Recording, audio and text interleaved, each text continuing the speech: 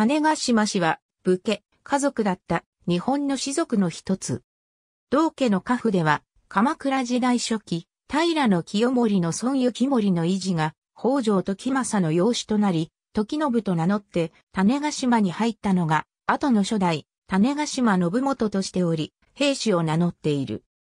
また信元は、自世のつてにより、種ヶ島、屋久島、口の選ぶ島を含む12島を与えられたとする。鎌倉時代、種ヶ島は、鎌倉幕府造入地で、地頭は、大浦口市、在島大官は、吾妻市であった。津体、関武兵士流薩摩平氏である、遺作、壁一族の種あり道の経類との説もある。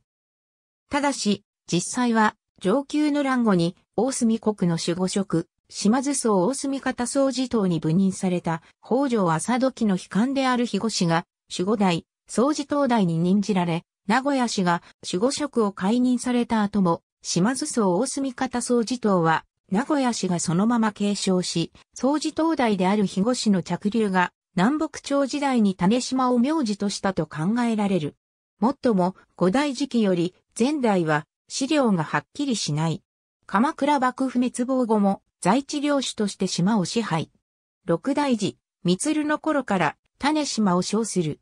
1408年、八代真珠は守護、島津元久より薬島を与えられる。十三代、恵み同期は、島津家の勝久、高久の構想で高久側につく。1543年、14代、時高の代に鉄砲が伝来。島の古来からの豊富な砂鉄をもとに国産化に成功したことはよく知られる。このために、鉄砲のことを種が島と呼ぶ俗称が生まれた。また、この頃、大隅国のねじめ市と屋久島をめぐり激しく構想している。ねじめ市は肝付市と結び、種ヶ島市は島津市と結んだ。これはねじめ合戦として知られる。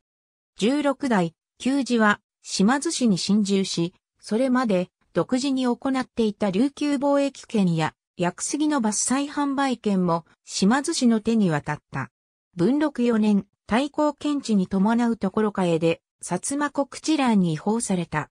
慶長3年には、薩摩藩の家老に任命され、江戸時代を通して、家老の家柄として1万石の価格を保持した。翌年には、知覧から丘陵の種ヶ島に違法されたが、屋久島は島津市の直轄地のままで、鹿児島への財布を義務付けられた。16代、旧時の娘は、島津家家老、伊勢貞政の子、伊勢忠豊に嫁いで娘を産み、その着男、島津綱久以降、代々の島津家当主は、種ヶ島氏の血を引いている。23代久道は、島津成沖の息子、忠高を押し付け養子とされ、後に突如撤回されるなど、島津家の内紛に翻弄され、創生する。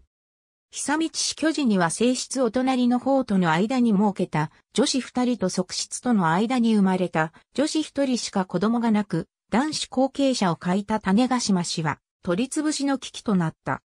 これを救ったのはお隣の方であり、養子氏の要請を行うとともに実質的な種ヶ島氏当主となり政務を取り行った。種ヶ島の食産産業の多くは彼女によって起こされたものが多いと言われる。